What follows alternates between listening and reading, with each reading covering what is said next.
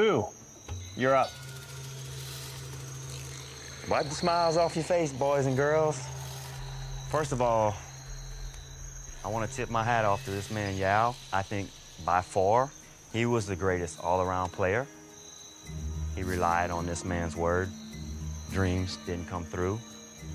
You can't make a promise in your heart and then say, oh, well, I change it now. It wasn't in my heart, bro. Dreamz, I'm speaking. You will have another chance to refute ahead, go what I ahead. said. When you made that deal with Yau, were you playing him as the game, or did you, as a Christian, and I'm coming to you as this because I believe in you as a Christian, I want to know your Christian answer.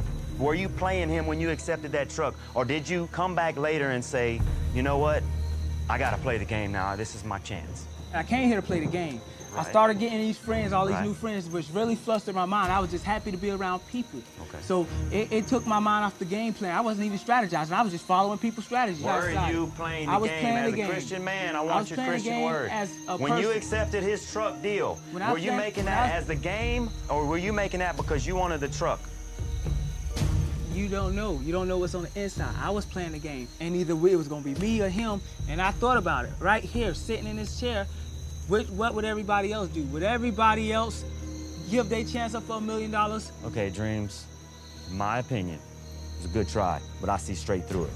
And I still believe in you, but I still believe you're an immature Christian, and I hope that one day you will be a strong Christian man and be able to tell the devil, dangle all the money you want in front of me. This Christian is not for sale.